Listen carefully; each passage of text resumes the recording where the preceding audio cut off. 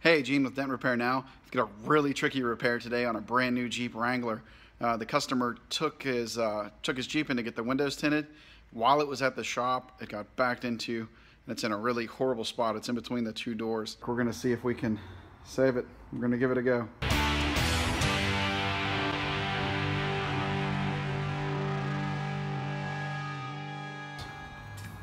And like I said, it's a brand new Jeep. So part of what makes it really important for for us to, to take a shot at this is to paint that spot right there. If it goes to the body shop, they're gonna have to paint the entire piece up to here where it meets the roof.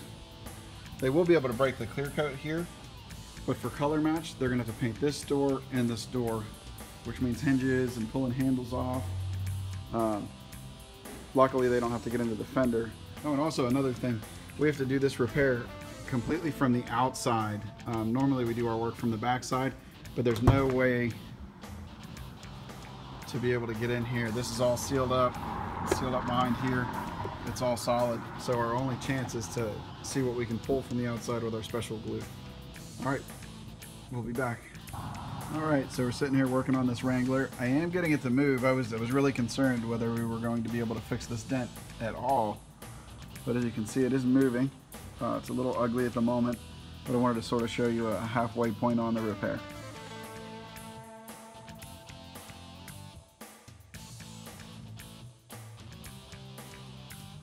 All right, this is Buddy. He owns the uh, 2016 Wrangler we were working on. Buddy, what do you think? Um, I am 100% satisfied with this, with your repair on this. Uh, what happened was it was down at another shop. Uh, one of my friends accidentally backed up into the side over here, put some damage right down here. And uh, I got referred to Gene here from a friend of mine. Said that he's best at what he does. Uh, as you can see, there's no more damage. Very satisfied. Awesome. Thanks, buddy. Yep, thank you.